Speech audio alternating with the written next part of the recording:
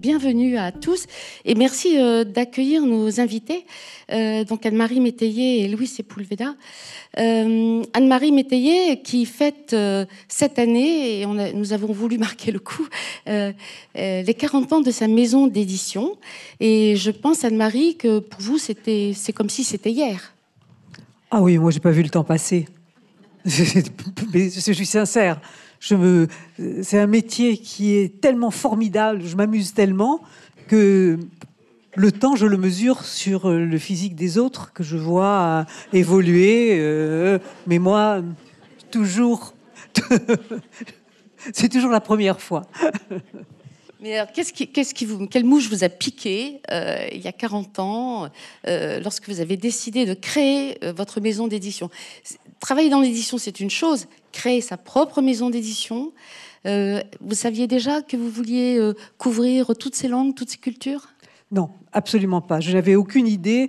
J'avais été chargée de faire une enquête par Pierre Broudieu sur euh, les fonctions de l'éditeur dans le champ intellectuel et il m'a envoyé voir Jérôme Lindon des éditions de Minuit, l'éditeur de Beckett et de Marguerite Duras qui s'est mis à me parler. je l'ai interviewé, je ne connaissais rien et il m'a dit, c'est le genre de personne qui vous dit, vous ne savez rien, formidable. Donc il a commencé à parler et il parlait de son travail de façon tellement extraordinaire. On sentait qu'il se reconnaissait dans ce qu'il faisait, que moi, qui étais une jeune femme un peu agitée, un peu, un peu de sociologie, un peu de journalisme, de, de l'enseignement de temps en temps, euh, voilà, pour faire bouillir la marmite, je me suis dit, mais ça a l'air formidable. Et donc j'ai fini l'enquête. Et je me suis dit, mais je veux voir de près. Et pour voir de près, euh, je me suis dit, bah, je vais monter une maison. Je n'avais pas d'argent. Et j'ai commencé avec 10 euh, 000 euros. C'était pour de quoi fabriquer euh, trois livres. Et j'ai plongé dans le grand bain. Et j'ai eu l'extrême, mais extraordinaire chance que d'être aidé par des gens qui aimaient leur travail, les gens qui, des éditeurs qui aimaient euh, euh, leur travail et qui m'ont expliqué comment il fallait faire, des gens de la fabrication qui aimaient leur travail, qui m'ont formé, qui, qui me le, qui ont fait très très gentiment les choses. Je me rappelle du chef de euh, de machine qui tirait mes couvertures. J'allais surveiller la, les couleurs de mes couvertures et qui me dit très gentiment, ça se passait tout le temps entre 6h et 7h du matin, qui me dit ah, elle est très belle cette couverture, vraiment. Est-ce que vous avez remarqué qu'elle est totalement illisible? Voyez? Donc c'est comme ça que je me suis formée sur le tas. Et bon, ah, euh, j'ai trouvé que euh, c'était un métier merveilleux et, que ce que ne m'avait dit aucun des confrères que j'avais interviewés pour mon étude de sociologie, de sociologie, c'est qu'il y avait un secret dans ce métier et il m'a fallu les dix premières années pour comprendre ce qui était vraiment le noyau de, du métier. Lequel? Ce sont les auteurs. Ce sont les auteurs. Sans eux, on n'existe pas. Donc, quand on, je pense que c'est très très important d'être conscient de ça, parce que on ne fait pas un métier technique. On est au service de textes et d'auteurs. On a le devoir de gagner de l'argent pour pouvoir payer les auteurs on, a, on, doit, euh, bon, dans la maison, je, parle sous le contrôle de Louis, toute l'équipe est au service des auteurs, même quand ils se conduisent comme des enfants gâtés, parce que c'est très dur d'être euh, d'écrire, c'est un métier solitaire. Alors je crois qu'on peut leur pardonner plein de choses, parce qu'ils n'oseraient pas les faire s'ils étaient dans leur famille. Alors là, on est là. Et c'est vraiment ce qui fait toute la valeur de, ce métier, de ces, objets que l'on fait, c'est que c'est l'œuvre qui est faite par des gens extraordinaires qui sont capables de créer des mondes, qui mettent tout leur talent, toute leur vie, toute euh, au service de ces objets merveilleux qui nous font vivre plus grand, qui nous font rêver plus grand. C'est bon, j'adore mon métier, je ne me lasse pas. Si vous voulez. Alors, Anne-Marie, vous, vous, publiez des, auteurs euh, de langue espagnole, mais aussi euh, de langue italienne, du portugais, de l'allemand.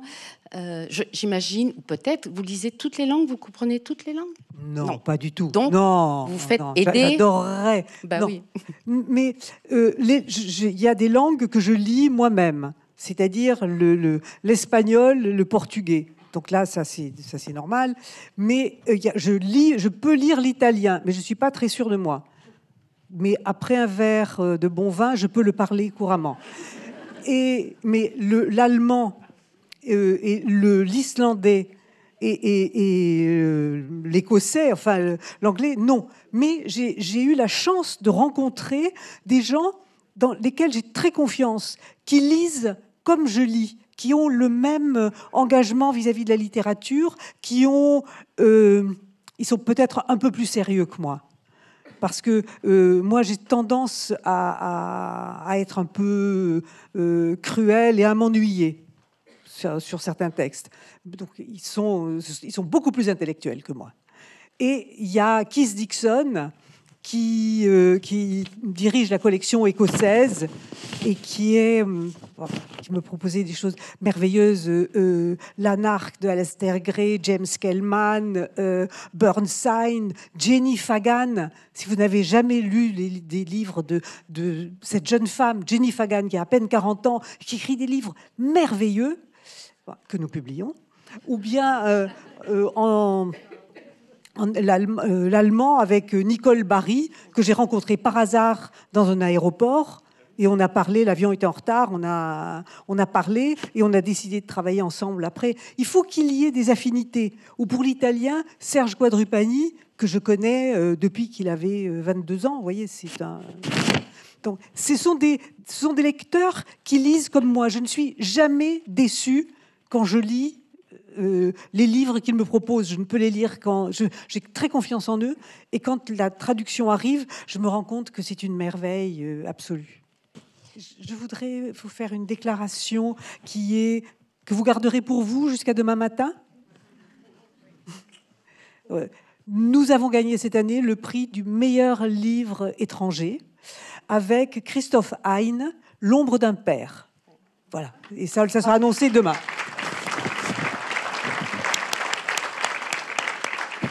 Sera officiel demain. Demain, matin. Euh, en... Rien faire dans la nuit. Hein. Et en 1992, vous publiez justement euh, un certain Louis Sepulveda avec un, texte qui s'intitule Le vieux qui aimait les. qui lisait, pardon, les romans d'amour. Il a tellement lu que je, je, je bute sur le titre. Comment s'est fait votre rencontre? Sur un quai de gare. non, j'avais, on m'avait donné son, le, livre et euh, je, l'ai lu immédiatement. J'étais à l'aéroport de Francfort et j'ai failli manquer mon avion parce que j'étais tellement dedans, j'étais tellement heureuse. Vous savez, je suis très réactive à la lecture. Alors il y a des livres qui me mettent dans un état d'allégresse de, ah, tout d'un coup, là, je, tombe amoureuse d'un livre. Je suis tombée amoureuse du vieux qui lisait des romans d'amour. Et ensuite, je me suis rendu compte qu'il allait falloir le défendre parce que Louis était totalement inconnu et qu'il fallait vraiment euh, euh, mettre le paquet pour le défendre. J'ai vu que les représentants de, de la diffusion du Seuil, qui diffusaient mes livres, étaient enfin, me trouvaient bien gentil, mais que c'était, ils n'allaient pas euh, se défoncer là-dessus parce que c'était un inconnu. Donc j'ai fait faire, j'ai fait des épreuves, j'ai écrit à la main 150 lettres et j'ai envoyé le livre à 150 libraires. Là-dessus, il y a eu le Salon du Livre de Paris et il n'y avait que cinq libraires qui avaient lu le livre. Donc ces cinq-là ont fait ce qu'on appelle maintenant un buzz un bouche à oreille en disant mais tu l'as pas lu, c'est pas possible. Hein. Et ce sont les libraires qui ont fait le succès du livre. C'est parti, vous savez, de, un bouche à oreille extraordinaire. Le premier article est sorti quand on en avait vendu 36 000. Et je ne connaissais toujours pas Louis Sepulveda. Et, et je n'avais pas d'argent pour payer l'avion pour le faire venir de Hambourg à Paris. Donc je me suis adressée à Étonnant Voyageur, le festival de Saint-Malo, et ils m'ont dit, bon, on l'invite, on paye le billet d'avion. Et donc, je l'ai rencontré sur le quai de la gare Montparnasse. Et il est arrivé, et c'est, il était très étrange. très étrange. Il est très grand. Il arrivait avec, avec, euh, une, des, cannes ou des béquilles. Je ne me rappelle plus si c'est des cannes ou des béquilles. Et il portait un corset de fer. Alors donc c'était euh, von Stroheim qui arrivait. Et on, s'est rencontrés, et moi j'étais très intimidée, et, et, on a commencé à parler dans le train, et tout d'un coup, on était, on était amis comme si on se connaissait depuis toujours.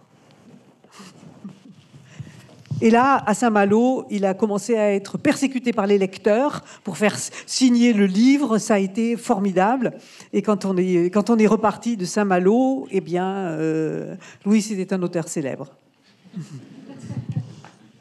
Alors, vous avez publié euh, beaucoup de livres de, Louis, des, romans, des, récits, des nouvelles, euh, des choses, comment dire, en même temps très authentique et en même temps euh, plein d'imaginaire, comme euh, le vieux qui lisait des romans d'amour, et des, nouvelles plus nostalgiques, politiques. Enfin, il y a un lien entre la poésie et la politique chez Louis Sepulveda qui est, qui est très très fort, que tout le monde a reconnu comme étant l'écrivain du bout du bout du monde et de, nous faire venir ici. Euh, à Bordeaux et en France et en Europe, ce bout du bout du monde. et en plus, euh, Louis écrit aussi des contes qui sont euh, adressés à la jeunesse, mais enfin, voilà, je... De 7 à 77 ah. ans. Voilà, hein. c'est ça, voilà. Comme, euh, voilà. Et, et, et vous, vous êtes amusé à faire la traduction. C'est Bon, j'ai fait de la traduction, j'ai payé mes études en faisant de la traduction, ce qui ne veut pas dire que j'ai du talent. Mais je, les livres, le premier livre que j'ai traduit, je l'ai traduit pour mon petit-fils. Le petit, c'était la mouette, histoire de la mouette et du chat qui lui a pris à voler. J'ai pas pu résister. J'ai été tellement séduite par ce livre que j'ai voulu le faire moi. Et puis après, je me suis rendu compte que ces, ces contes animaliers de, de Louise, ils me touchaient toujours, et c'était, euh, je me suis offert un plaisir en le en traduisant. Et je ne euh, sais pas comment vous dire, c'est pour moi euh, le dessert de ma vie d'éditeur. euh, Louis a quelque chose à, ajouter à, ce que vient de dire euh, Anne-Marie?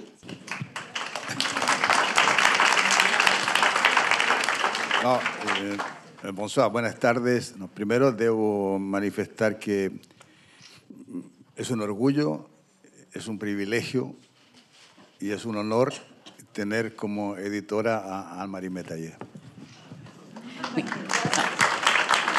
Je dois commencer par vous dire tout le plaisir, la fierté et l'honneur que je ressens d'être euh, euh, publié par Anne-Marie, d'avoir comme éditrice Anne-Marie Métellier. Et nuestro primer encuentro eh, fue como ella lo ha descrito, aunque tal vez con algunos matices. Notre première rencontre a été exactement comme elle a raconté, mais peut-être avec quelques nuances. Eh,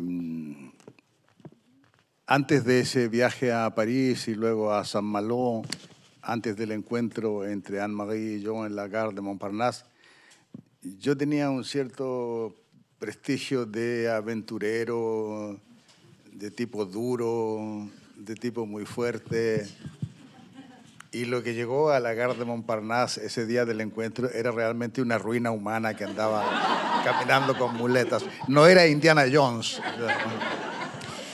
Alors avant, euh, avant Paris, avant Saint-Malo, avant cette rencontre euh, sur le quai de la gare de Montparnasse, en réalité, j'avais une réputation euh, d'aventurier, d'homme fort, dur, etc.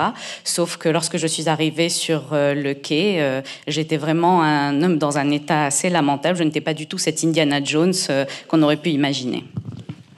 Et naturalmente, cuando tuve la primera noticia de que había una editora que estaba interesada en traducir mi primera novela al francés. Naturalmente sentí una gran alegría. Para todos es, es una meta ser publicado en Francia y el que diga que no es un mentiroso, es, un- es una meta muy, muy deseada.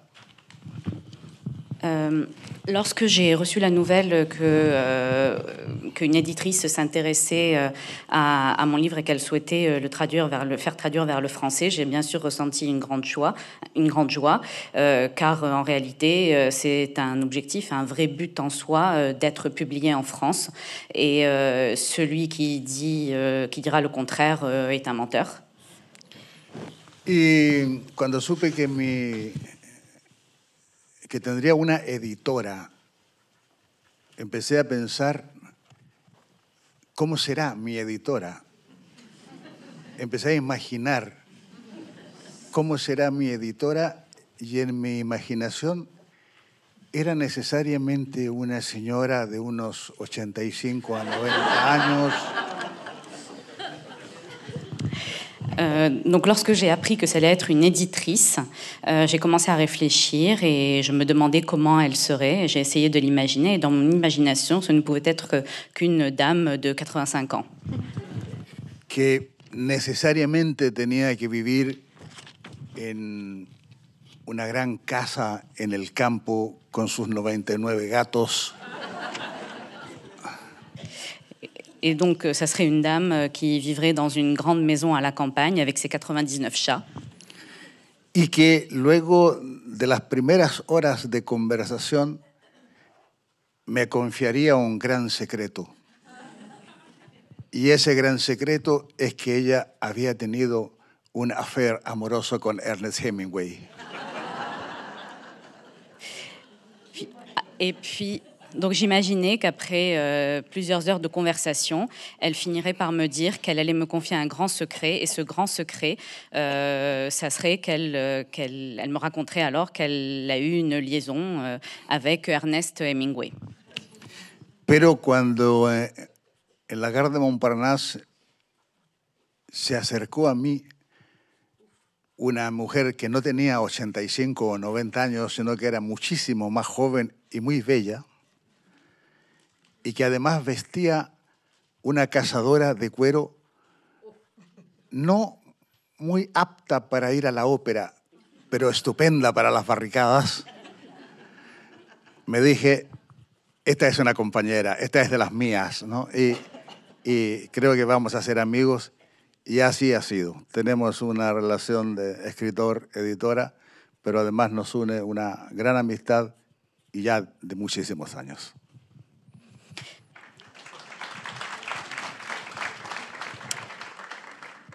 Mais lorsque je suis arrivée euh, sur le quai de la gare Montparnasse et que j'ai vu euh, une dame s'approcher de moi qui n'avait pas du tout 85 ou 90 ans, mais euh, bien plus jeune et très belle, elle portait en plus un perfecto, un blouson en cuir, pas du tout apte pour aller à l'opéra, mais plutôt, plutôt bien pour être sur des barricades. Je me suis dit, c'est une camarade. Et, donc euh, on- qu'on allait devenir amis. Et c'est à partir de là que euh, nous avons donc, au-delà de la relation écrivain-éditrice, une grande amitié qui dure depuis plusieurs années, de nombreuses années. et qui se concrétise encore euh, aujourd'hui avec ce, livre, donc Histoire d'une baleine blanche. Euh, c'est un livre donc traduit par Anne-Marie et illustré par Joël euh, Jolivet. Je, vous engage vraiment à, regarder les images. Je peux pas, pas 36, 36 mains. C'est vraiment euh, très très beau. Alors, Histoire d'une baleine blanche, on en connaît d'autres de baleines blanches qui ont défrayé l'édition. Euh, Louis, qu'est-ce qui vous a pris aussi d'imaginer l'histoire avec une baleine blanche couleur de lune? C'est très beau. Bueno, yo siempre fui, fui un lector y, también un admirador de la, de la formidable novela de Melville, ¿no? Moby Dick. Fue uno de mis libros de iniciación. Y he hecho creo que cuatro o cinco lecturas eh, de ese libro. La primera como un niño, luego como adolescente, luego como hombre joven y finalmente ya como adulto algunas lecturas y siempre el libro me pareció una gran novela, pero sentí que faltaba algo, no a la novela, que es perfecta, faltaba algo, faltaba mencionar a un personaje. Euh, j'ai toujours été euh, toute ma vie un lecteur et un grand admirateur par ailleurs de Moby Dick, euh, le roman de Melville. je l'ai lu comme un roman lors de mon initiation, de mon apprentissage. J'en ai fait quatre ou cinq lectures lorsque j'étais enfant, puis ado, puis homme jeune, puis un petit peu moins jeune, puis adulte. Et je suis un grand admirateur de ce roman, mais quelque part j'ai toujours senti qu'il manquait quelque chose. Y siempre me pregunté por qué Melville, con ese enorme talento, fue capaz de, de escribir detenidamente sobre dos de los grandes protagonistas, que son el capitán Akab y el e Ismael, el, el, el marinero. Pero ¿por qué olvidó mencionar a esa gran ballena blanca a los motivos de la ballena, por qué la ballena actuó así. Y sentí que había ahí un, desafío, ¿no? y, a mí me gustan los desafíos. Eh, los desafíos son una gran invitación para escribir. Um, je, me suis toujours demandé euh, pourquoi Melville, qui avait un si grand talent, avait été capable d'écrire euh, avec beaucoup de détails sur les deux grands protagonistes qui sont Ismaël et le capitaine Akab. Mais pourquoi, euh, je n'ai jamais compris pourquoi il avait fait cet oubli de ce grand personnage qui est la, grande baleine blanche, les motifs qui l'ont poussé à agir ainsi, motifs donc de cette baleine blanche. Et j'ai trouvé là un défi. j'ai toujours aimé les défis parce que ce sont justement une invitation pour l'écriture. Entonces, sin la menor intención, porque sería, sería una insolencia de, eh, de corregir de Melville, eh, me propuse eh, contar la historia de esa ballena blanca, eh, que se sabe que realmente existió. Y, y para contarla, bueno, em, em, empecé una, una investigación ¿no? sobre eh, el comportamiento de, esa, de ese cachalote, de esa gran ballena que fue vista por primera vez en las costas chilenas, o sea, muy al sur del mundo. Y, y, a la hora de contar la historia de esa ballena blanca, se me ocurrió que la única manera que, tenía para hacerlo era alejándome yo como escritor y dejando que fuera la propia ballena la que contara su historia. Es decir, prestándole mi voz a ese enorme animal marino que fue protagonista de una, de una saga, de una historia bastante terrible. Et, euh, euh, et je ne voudrais pas ici faire preuve d'insolence et corriger et faire preuve, enfin, et corriger cet oubli donc de Melville, mais je voulais simplement euh, euh raconter l'histoire de cette grande baleine blanche qui a réellement existé et euh, pour la raconter, j'ai dû faire une enquête sur le comportement de cet énorme cachalot, euh, qui a été vu d'ailleurs pour la première fois euh, sur les côtes chiliennes, très au sud du monde. Et la seule façon, il m'a semblé, pour le raconter, c'était en m'éloignant en tant qu'auteur et de prêter en quelque sorte ma voix à la baleine, qui a été la protagoniste d'une saga assez terrible. C'est vrai que c'est ça marche. C'est la, baleine qui, qui raconte, euh, qui raconte un monde qui va basculer. Je trouve que ce, cette baleine couleur de lune est un être pur. Euh, euh, elle connaît l'innocence, elle vit en bonne entente avec les voisins, les, Indiens qui habitent dans les environs. et puis d'un seul coup arrive la modernité les baleiniers euh, qui, vont, qui vont la massacrer et cette baleine justement ne comprend pas. Donc euh, ce conte est, est, un conte merveilleux, mais aussi euh, qui dit tout, tout le, le, dramatique de nos sociétés, de notre monde aujourd'hui. Et est-ce que pour vous, ça a été difficile de faire parler cette baleine? D'écrire les paroles de cette baleine? Bueno, se sabe que eh, los escritores aprendemos mucho durante la escritura. durante la escritura es cuando más se, aprende.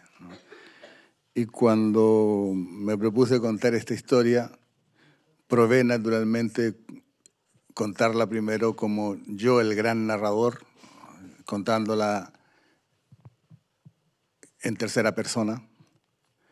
Luego intenté que la contara un testigo, una narración en segunda persona, pero no resultaba, faltaba algo, faltaba meterse bajo la piel del gran personaje que es la ballena.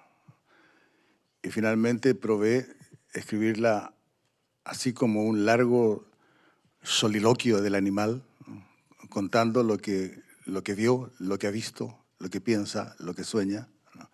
Y ahí fui encontrándonos las claves para la escritura que realmente me funcionaban y que eran funcionales intrínsecamente a la historia que yo quería contar. Eh, mm, on sait que les écrivains euh, apprennent en général euh, pendant Euh, le processus de l'écriture. Donc c'est lorsqu'ils c'est lorsqu'ils écrivent qu'ils apprennent le plus.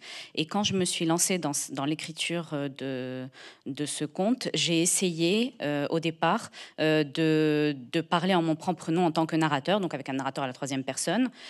puis j'ai essayé également avec un témoin extérieur, donc à la deuxième personne, mais j'avais l'impression qu'il manquait à chaque fois quelque chose. Il manquait de se placer réellement dans la peau euh, de ce personnage, de cette baleine. Et c'est comme ça que j'ai essayé euh, d'écrire euh, ce soliloque de l'animal en racontant ce qu'il voit, ce qu'il rêve, ce qu'il pense. Et j'ai trouvé donc là la clé pour l'écriture.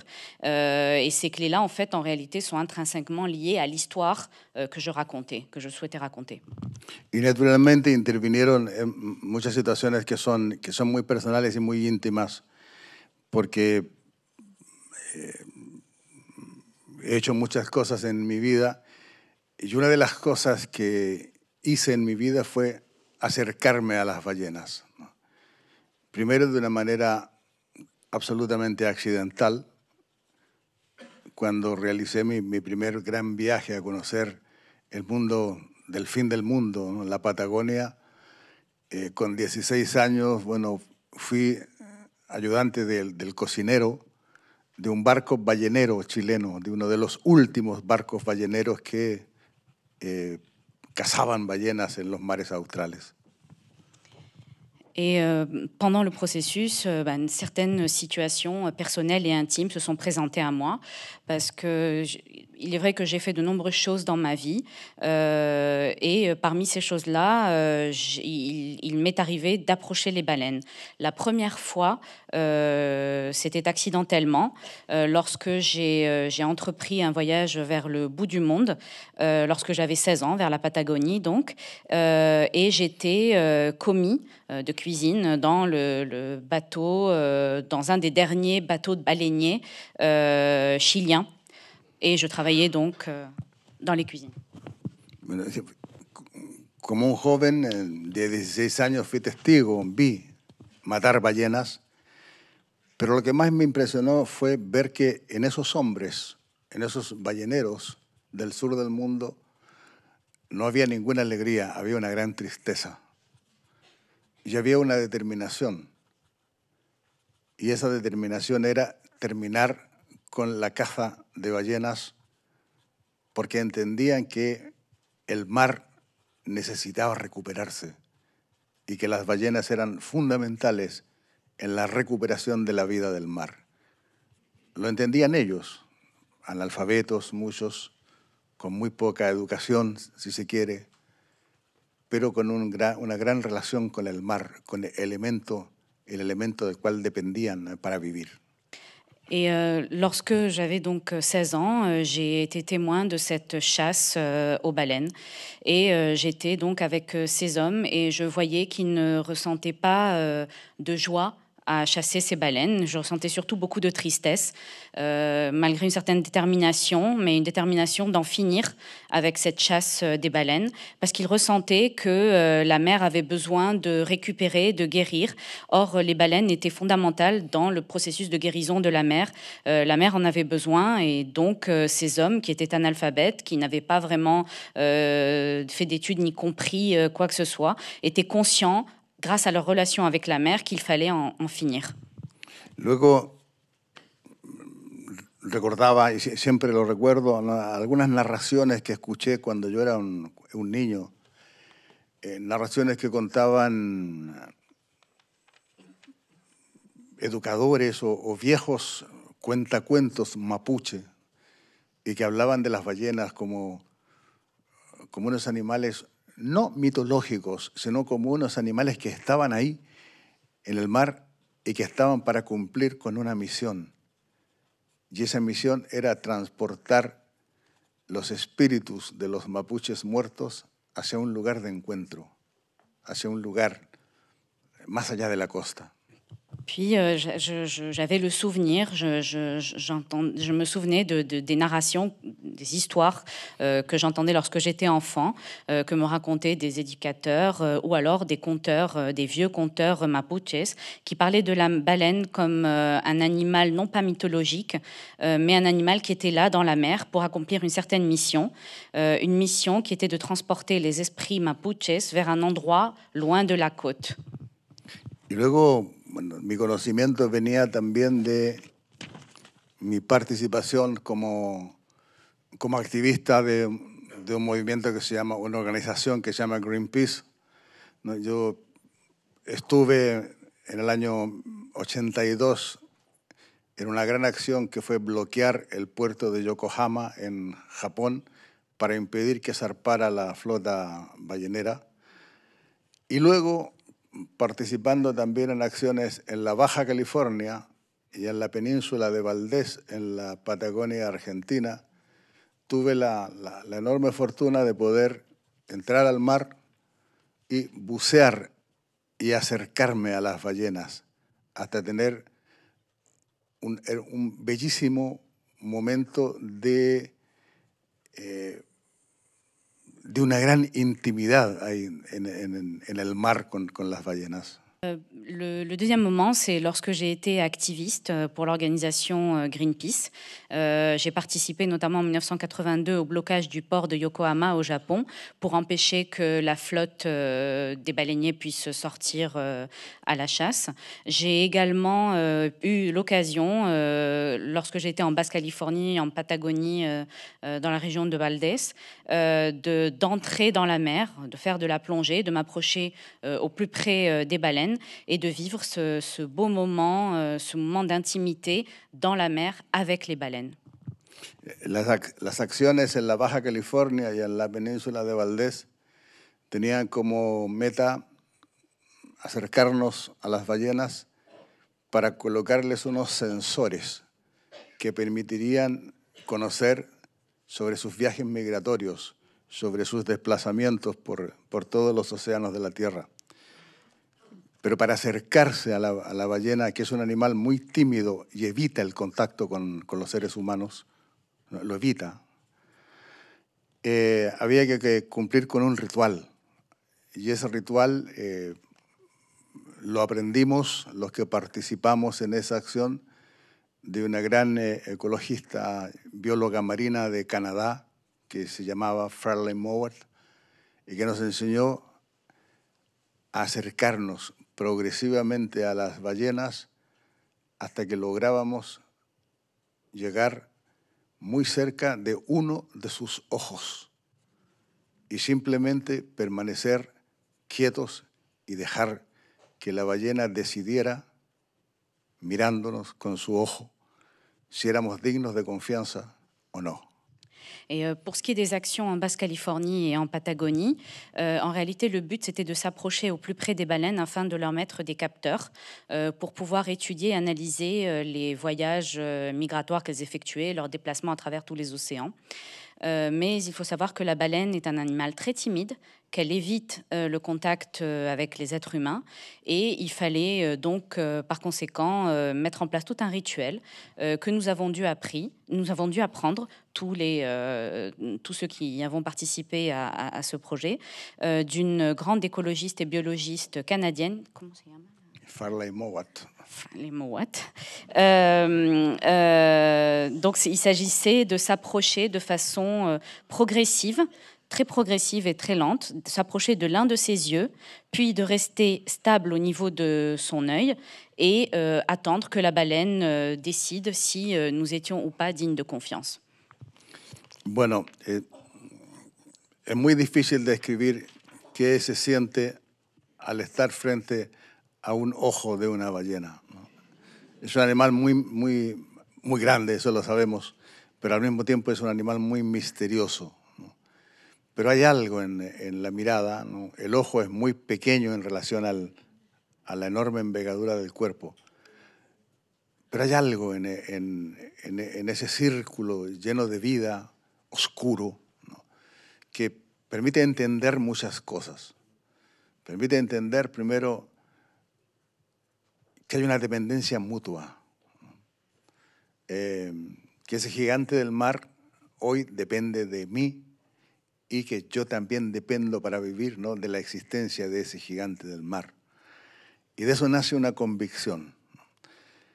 Eh, cuando escribía, cuando empecé a escribir esta, esta historia, eh, quise en todo momento sentir que mientras estaba escribiendo, estaba siendo mirado por el ojo de una ballena y que me estaba diciendo, así sí, sigue así, así tiene que ser la historia, no te desvíes, cuenta lo esencial, porque las ballenas son seres que viven, se mueven y no ocupan más que lo esencial que necesitan para vivir. No agreden, no invaden, no violan, no son agresivas, simplemente están con una especie de mensaje que dice, déjenos estar. Ce, genre de moments sont vraiment très difficiles à décrire, d'être près de cet euh, œil de la baleine, car c'est vrai qu'il s'agit d'un animal extrêmement grand, mais aussi très mystérieux. Mais l'œil finalement est très petit, très petit par rapport à, toute l'envergure, à toute la taille du corps. Et, euh, il y a dans cet œil quelque chose de sombre, quelque chose euh, qui nous permet de comprendre un certain nombre de choses. Euh, et on comprend que on dépend mutuellement euh, l'un de l'autre, car ce géant des mers dépend de moi, mais moi aussi je dépends de lui. Et donc de là est née cette conviction, euh, lorsque j'ai commencé à écrire cette histoire, qu'il fallait que je sente euh, lorsque j'écrivais que j'étais regardée par euh, l'œil d'une baleine et qu'elle me dirait oui, continue comme ça, c'est comme ça qu'il faut que tu fasses, va à l'essentiel, ne t'écarte pas, euh, car les baleines sont des animaux qui vivent. Euh, elles, elles, elles, vont à l'essentiel, elles utilisent l'essentiel, euh, il n'y a rien de plus, elles n'agressent pas, elles n'envahissent pas, elles sont. Et, euh, et justement, elles, elles, nous demandent, nous demandent de, de, de, les laisser être. Peut-être que Louis, vous pourriez lire le deux pages, la lecture? Ouais le chapitre 2, on avait dit. Vous allez donc entendre la, la voix de la baleine couleur de lune, Moshadik. La memoria de la ballena habla del hombre. El hombre siempre sintió miedo de mi tamaño y desazón porque no podía poseerme. ¿Para qué servirá un animal tan grande? se ha preguntado el hombre desde el inicio de los tiempos y yo lo he observado desde que se acercó por primera vez al mar. Descubrió que su cuerpo no era apto para conocer la profundidad del agua, pero podía valerse de algo que flotara para desafiar el ímpetu de las olas. Así, vi cómo el hombre se movía en la superficie sobre cuatro tablas frágiles. Nos miramos manteniendo una prudente distancia, el hombre con recelo, yo con curiosidad y asombro por su empeño. Admiré su valor e insistencia en enfrentarse a oleajes navegando en embarcaciones que no soportaban los embates contra los arrecifes ni el roce de los afilados corales cuando se adentrabas en aguas poco profundas. Ya aprenderá, me decía al verlo, porfiado y tenaz, aunque siempre navegando sin perder de vista la costa, temeroso del desafío del horizonte. El hombre aprendió pronto a moverse en el mar y de la misma manera que yo, la ballena de color luna, recibí de otra ballena y esta de otra el secreto de las mareas y las corrientes, el hombre compartió lo aprendido y se multiplicó en el mar. Sus embarcaciones se hicieron mayores, dominaron el arte de atrapar el viento en livianas superficies que llamaron velas y no tardaron en descubrir el cielo y las estrellas que les indicaron el rumbo. Entonces se atrevieron a navegar en la oscuridad y dejaron de temer al horizonte. A veces nos encontrábamos en la vasta soledad oceánica y yo, la ballena de color luna, salía a la superficie para respirar.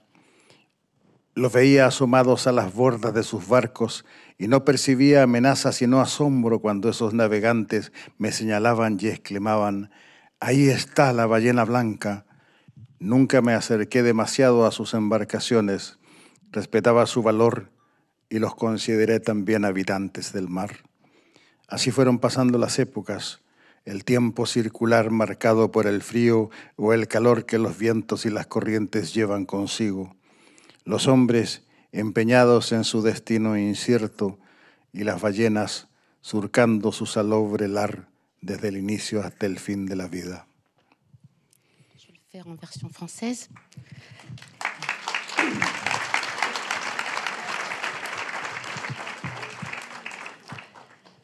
L'homme a toujours eu peur de ma taille et son incapacité à me dominer l'a toujours inquiété. À quoi peut bien servir un animal aussi grand se demande l'homme depuis le commencement des temps. Et je l'ai observé depuis la première fois qu'il s'est approché de la mer. Il a découvert que son corps n'était pas apte à connaître la profondeur de l'eau, mais qu'il pouvait se servir d'un objet flottant pour défier la violence des vagues. C'est ainsi que j'ai vu l'homme se déplacer à la surface de l'eau sur quatre planches fragiles. Nous nous sommes regardés en gardant une distance, une distance prudente, l'homme avec méfiance, moi avec curiosité et étonnement devant sa ténacité. J'ai admiré son courage et son obstination à affronter les vagues en naviguant sur des embarcations qui ne résistaient pas au choc des récifs ni au frôlement des coraux aiguisés quand elles entraient dans les eaux peu profondes. Il va apprendre, me disais-je, en le voyant obstiné et tenace, mais naviguant toujours à portée de vue de la côte, craignant le défi de l'horizon. L'homme a vite appris à se déplacer sur la mer, et de la même façon que moi, la baleine couleur de lune, j'ai reçu d'une autre baleine, et celle-là d'une autre baleine, le secret des marées et des courants. L'homme a partagé ce qu'il a appris et s'est multiplié sur les mers. Ses embarcations sont devenues plus grandes. Il a dominé l'art de prendre le vent dans des surfaces légères qu'il a appelées voiles et n'a pas tardé à découvrir le ciel et les étoiles qui lui ont indiqué un cap. Alors il a osé naviguer dans l'obscurité et a cessé de craindre l'horizon. Parfois, nous nous rencontrions dans les vastes solitudes océaniques, et moi, la baleine couleur de lune, je sortais à la surface pour respirer, je les voyais penchés sur les ponts de leurs navires, et je n'ai pas vu de menace, mais de l'étonnement chez ces navigateurs qui me montraient et s'exclamaient Voilà la baleine blanche. Je ne me suis jamais approché trop près de leurs embarcations. Je respectais leur courage et je les ai aussi considérés comme des habitants de la mer. C'est ainsi que sont passées les époques, le temps circulaire marqué par le froid ou la chaleur apportée par les vents et les courants, les hommes aux prises avec leur destin incertain et les baleines sillonnant leur foyer saumâtre du début à la fin de leur vie. Alors, Louis, cette baleine regarde les hommes avec euh, avec sérénité, je peux dire, enfin curieuse, plutôt aimable, gentille, et, très vite, elle va se rendre compte que c'est pas que les hommes vont vouloir tous toutes les massacrer. Moi, j'y vois une métaphore de, nos sociétés. Enfin, c'est même pas une métaphore, c'est aussi une réalité euh, de nos sociétés qui sont euh, carnassières, voraces, qui détruisent euh, euh, beaucoup. Euh, et que notre festival, cette année, l'usage du monde, voulait mettre l'accent là-dessus aussi, sur euh, ce que nous faisons de la planète. lorsque vous écrivez cette baleine qui est naïve, pleine d'innocence, pleine d'amour, pleine d'amitié, vous n'avez pas senti est-ce que vous étiez à l'aise d'écrire ça, sachant qu'elle elle allait être massacrée après Bueno, sí, yo conocía, enteramente la historia de la, ballena blanca y lo que, ocurrió finalmente, pero mm, esa ballena de la historia, como, como todas las ballenas, eh, tiene sí en el mar ese comportamiento tal vez naif, ese, comportamiento que es la, simple curiosidad. Cuando a veces eh, en cualquier país que tenga mar, la gente se asombra de pronto al ver saltar unos delfines o unas ballenas muy cerca de la costa. Y, eso obedece a una sola razón, curiosidad, curiosidad por ver qué es lo que hay ahí, eh, qué es aquello que brilla, todo lo que puede llamar la atención a un animal desde el punto de vista que es el punto de vista de la más pura inocencia. La curiosidad siempre es inocente.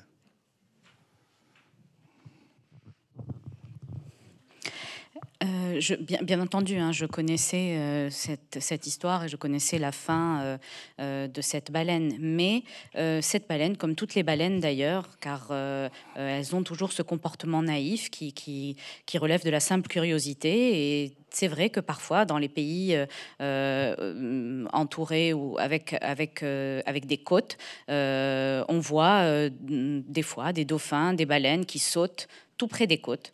Et, je, pense qu'il s'agit d'une certaine curiosité pour voir un petit peu ce qu'il y a au-delà. Au leur, leur œil est attiré, leur attention est attirée par ce qui brille. Et je pense que c'est vraiment le point de vue de l'innocence, car la curiosité en général est innocente et naïve. Y, bueno, es una, es una historia eh, literaria y como en todas eh, las historias literarias hay una evolución emocional.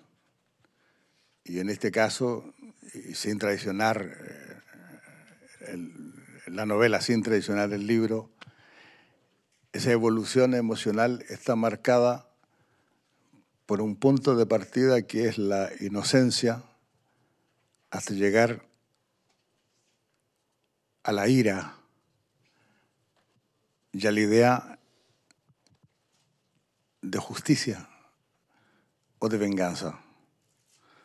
A veces esas dos ideas suelen ser confundidas.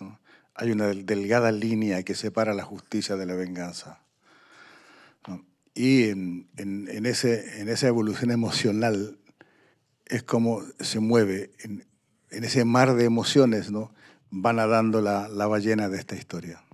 Et euh, il s'agit ici euh, d'une histoire littéraire. Et donc par conséquent, il y a une évolution émotionnelle tout au long euh, de l'histoire.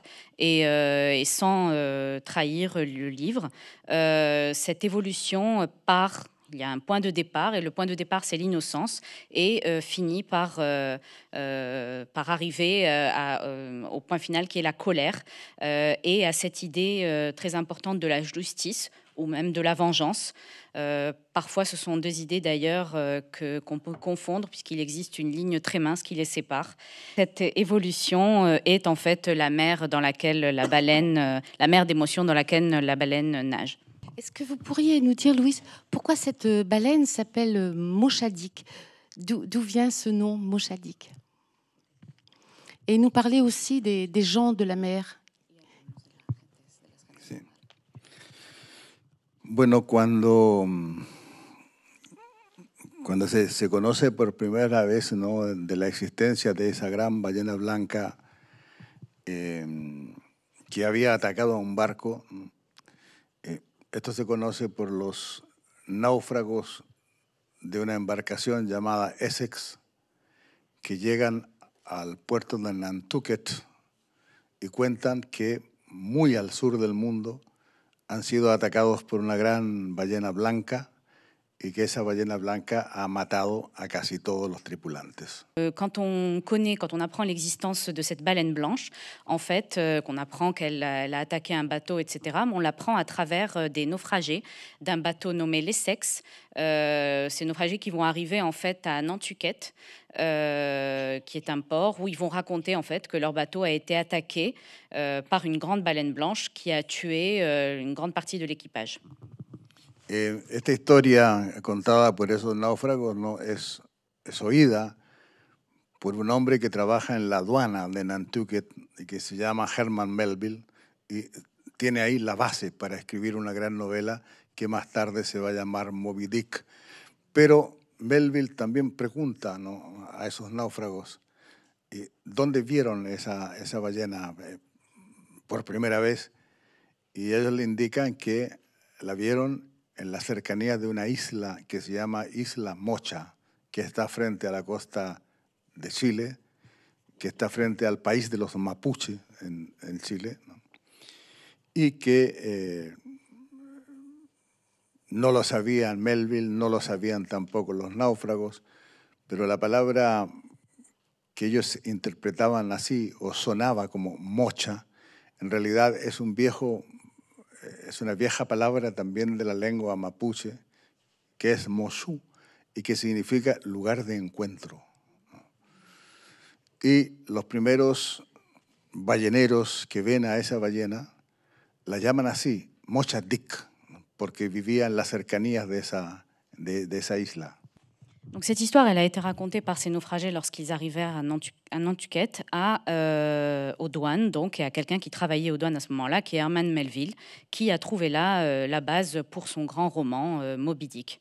Et euh, Herman Melville a beaucoup posé la question et a demandé où euh, avait été vue euh, cette baleine. Et on lui a répondu qu'elle avait été vue près de l'île Mocha, face aux côtes chiliennes, dans le pays des Mapuches.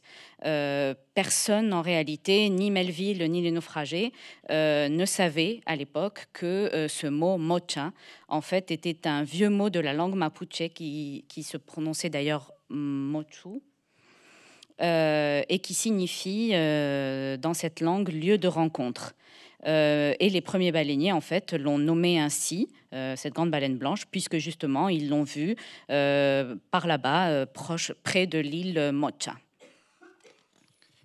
Y la, la, la, la, la relación de la gente que vive en esa parte del mundo con, con las ballenas es eh, muy particular. Una parte de la gran etnia mapuche, son dos palabras, ¿no? Mapu, que significa tierra, y che, que significa gente. Mapuche, gente de la tierra. Una parte de, de esa gran etnia eh, son los Lafken Che, Lafken, orilla del mar, Che, gente que vive a la orilla del mar. Y ellos suelen narrar eh, una, una, bellísima historia de final muy triste, que tiene que ver con, con eh, unas ballenas que son parte ¿no? de su leyenda, de sus mitos, de su historia. Euh, la relation euh, là-bas euh, qu'ont les gens avec les baleines est assez particulière. Donc, pour préciser, Mapuche, donc cette, grande ethnie, en fait, Mapu signifie terre et Che signifie gens, donc ce sont les gens de la terre. Mais il y a une partie de cette grande ethnie qui sont les gens de la mer, l'Afkenche, donc qui vivent près de l'eau. Près de la mer. Et ces, ces, gens de la mer, les Lafkenche, racontaient une belle histoire qui fait partie, en lien avec les baleines, et qui fait partie de leur, de leur mythologie et de leur histoire.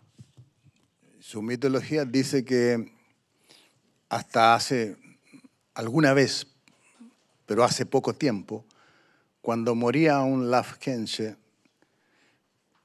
debían dejarlo a la orilla del mar con cinco piedras de ópalo en cada mano. Et leur mythologie disait euh, que quand euh, un Lafkenche mourait, il devait euh, rester au bord de l'eau avec cinq pierres d'opale dans chaque main, cinq cailloux. Eh, y que esas eh, piedras que tienen en cada mano, bueno, serían una forma de pago a unas ballenas que transportarían su espíritu hacia la isla de los grandes encuentros, hacia la isla Mocha. Et donc ces pierres euh, qui se trouvaient dans chaque main euh, étaient nécessaires pour pouvoir payer les baleines qui allaient les transporter, transporter leur esprit vers l'île Mocha, qui était l'île donc des grandes rencontres. Y en su mitología también estaba escrito que una vez que muriera el último Lafkenche, y hubiera sido transportado por las ballenas hasta la isla Mocha, todos subirían sobre el lomo de una gran ballena blanca y emprenderían un viaje feliz hacia el oeste, siempre hacia el oeste, a salvo de todo el mal que siempre viene del este. Et euh, dans la mythologie également, il était écrit qu'après la mort du dernier Lafkenche, après son transport, le transport euh, de, son esprit vers l'île euh, Mocha, tous se mettraient sur le dos d'une grande baleine et il ferait un, il, commencerait à ce moment-là un voyage heureux, toujours vers l'ouest, toujours vers l'ouest, loin du mal qui vient de l'est. Et finalement, esa mitología dice que alguna vez pero no hace mucho tiempo, un barco venido del este invadió esas aguas entre la isla y, la tierra continental y mató a las ballenas que transportaban a los lafkenches hasta la isla del Gran Encuentro. Et à la fin de cette mythologie, euh, une fois, mais il n'y a pas si longtemps, euh, ça raconte que euh, un bateau venu de l'est a envahi cette bande de, mer entre l'île et la terre et, la côte, et que ce bateau a tué les baleines qui transportaient les esprits vers l'île des grandes rencontres. Et por último, en su mitología eh, se dice que esas ballenas que transportaban a los espíritus estaban cuidadas por una gran ballena blanca, pero que por un motivo desconocido un día esa ballena blanca no estaba. Y por eso la embarcación que llegó pudo matar a las ballenas que transportaban eh, los cuerpos. Y a partir de ese momento, el, el, pueblo lafkenche se sintió condenado a una tristeza eterna por no poder viajar una vez muertos a la isla donde se reunían eh, con todos sus antepasados. Et enfin, à la fin de cette histoire, euh, il faut savoir que ces baleines qui transportaient les esprits euh, étaient protégées par une grande baleine blanche, euh, mais pour un motif euh, inconnu qui était ignoré, elle n'était pas le jour où le bateau euh, les a tués. Et donc, depuis lors, le, peuple Lafkenche vit dans une tristesse éternelle puisqu'il ne pourra pas faire ce grand, voyage pour rejoindre leurs ancêtres.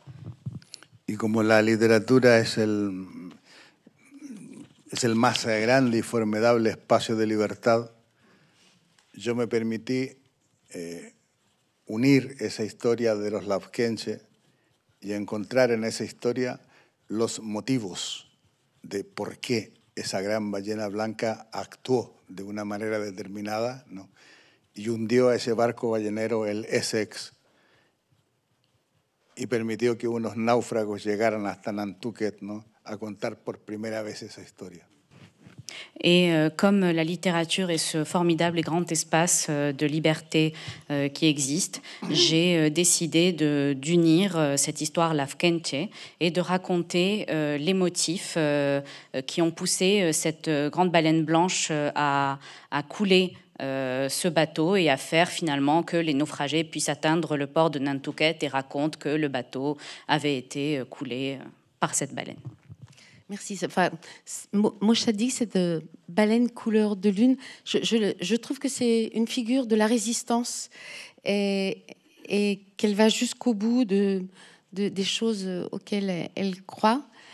Euh, et vous, écrivez à un moment donné euh, qu'elle elle se met en colère, cette, baleine, moi je dit se met en colère, et, et qu'elle quitte une mer inconnue pour une mer de haine. Et moi j'ai trouvé ça vraiment... Euh, euh, très très beau, euh, très fort. Alors il ne s'agit pas forcément de tomber dans la haine, mais peut-être dans la colère, oui. Et j'aimerais savoir pour clore, et ensuite on vous laisse la parole, mais on avait plein d'autres questions et, aussi d'autres lectures, mais ça va être un peu trop long. Euh, Louis, ce qu'évoquent pour vous ces mots usage du monde, donc le titre de cette 16e édition de Lettres du Monde? Hay tanto que hacer con el mundo y, y por el mundo. El título me parece una invitación ¿no? a pensar en eso, en, en, todo lo que hay que hacer y todo lo que se puede y se debe hacer. Il y a tant à faire et à, à, à, faire dans le monde en général et tant de choses que nous pourrions faire. Et euh, ce titre euh, m'évoque une invitation à, à faire euh, ces choses-là. No sé, cuando mm, a veces a mí se me ocurre que es una desgracia ser contemporáneo de, de, de esta época que estamos viviendo. Eh, a veces las noticias que llegan tienden al pesimismo más absoluto. Eh, a veces uno piensa, ojalá que caiga el meteorito de una vez y se acabe. Pero por otro lado está no siempre la, la convicción de que algo hay que hacer, que hay muchas cosas que podemos hacer. Euh, moi, c'est vrai que parfois, j'ai l'impression, on a la sensation que c'est un véritable malheur euh, d'être euh, d'être un contemporain, de vivre cette époque avec toutes ces nouvelles qui tendent vraiment vers un pessimisme assez fort. Et parfois, j'ai envie de penser qu'il faudrait qu'il nous tombe dessus un météorite et qu'on en finisse une bonne fois pour toutes. mais je garde la conviction qu'il y a énormément de choses à faire et que nous pouvons faire. Y a veces, eh, a veces uno siente que tal vez ya no hay tiempo para todo lo que hay que hacer. Pero por otra parte veo los pequeños esfuerzos y los grandes esfuerzos que hace mucha gente y eso permite conservar el optimismo. Mais parfois on sent qu'on n'a pas forcément le temps euh, pour tout ce qu'il y a à faire, justement pour l'ampleur des choses à faire, mais on voit qu'il y a des petits et des grands efforts qui sont faits et cela euh, euh, nous force à revenir vers un certain optimisme. Por ejemplo, hoy, hoy por la mañana, cuando salí de, de mi casa y fui en, en, en coche, en, en auto hasta el aeropuerto, iba escuchando la radio. Y en la radio, una persona muy entusiasta estaba hablando de los cambios en los hábitos de consumo que tenemos hoy día todos, aparentemente, en la sociedad occidental. Euh, par exemple, ce matin, quand je suis partie de la maison euh, en voiture pour aller à l'aéroport, j'ai écouté la radio et euh, j'ai entendu une personne très enthousiaste sur les changements dans les habitudes de consommation que nous avons tous de nos jours. Y eh, esta persona basaba en su entusiasmo en una teoría de que hoy día tenemos más libertad para elegir lo que consumimos. Et cette personne basait sa théorie sur le fait que nous avions aujourd'hui plus de liberté de choix dans ce, qu'on, dans ce que nous consommons. Y que esa libertad para elegir lo que consumimos unido a las nuevas tecnologías nos ha transformado en compradores compulsivos vía Internet. Et cette liberté euh, de choix, finalement, combinée aux nouvelles technologies que nous avons de nos jours, nous a transformés en acheteurs compulsifs à travers Internet. Hace apenas, hace apenas cinco años hubo una gran campaña para terminar con, con los envoltorios inútiles de, de los productos. Il y a cinq ans, il y a eu une grande campagne pour en finir avec les emballages inutiles euh, des produits. Y fue una campaña empezada por UNESCO y que continuó la Organización Mundial de la Salud.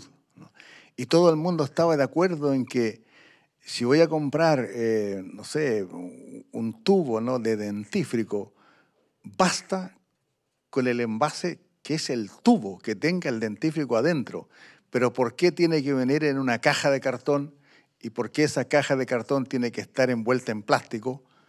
¿Y por qué para llevarla me tengo que llevar una bolsa plástica además? No, bueno, ya había un acuerdo general, hay que cambiar esto. Et euh, dans cette campagne qui avait été initiée par l'UNESCO puis euh, par l'Organisation mondiale, de la santé, tout le monde en fait avait été d'accord puisque c'est vrai que lorsqu'on va acheter un tube de dentifrice, le tube se suffit à lui-même. Pourquoi est-ce que ce tube est emballé dans une boîte en carton, puis dans, un plastique, euh, puis je dois mettre ce, ce, tube donc acheté dans une poche, dans un sac en plastique?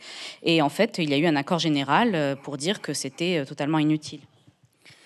Y también llegamos a un acuerdo casi planetario de que había que reciclar, que había que cuidar, por ejemplo, el papel, que al papel había que darle una segunda oportunidad, reciclándolo.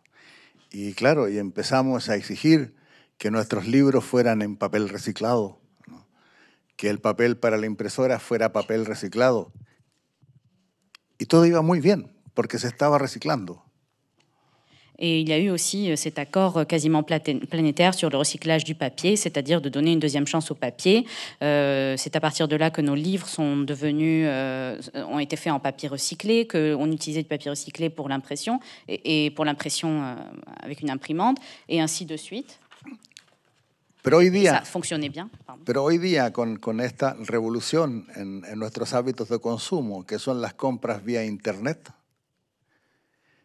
se está usando más cartón reciclado y más papel que en toda la historia del comercio de la humanidad. Y reciclar todo ese papel y ese cartón que ahora se emplea porque tenemos nuevos hábitos de consumo y compramos por internet, en Amazon o donde sea, la carga ecológica de ese reciclaje es tan fuerte como la carga ecológica que queremos terminar con el uso de la gasolina o el uso del diésel. Es exactamente la misma carga del peso ecológico que se está produciendo. Eh, Or, avec cette révolution et cette nouvelle, euh, habitude des achats euh, par Internet, euh, nous utilisons énormément de papier et de carton, plus, quasiment plus de papier que dans toute l'histoire du commerce de l'humanité. Et pour le recycler, en avec ces achats sur Internet, à travers Amazon, etc., la charge écologique pour le recycler est tellement forte qu'elle correspondrait, elle a le même poids écologique que, par exemple, si on en finissait avec l'essence ou avec le diesel. Entonces llegamos al qué, al qué podemos hacer. Y claro, son pequeñas cosas que podemos hacer. Por ejemplo, entender de una vez por todas que los libros no se compran en Amazon, se compran en la pequeña librería del barrio.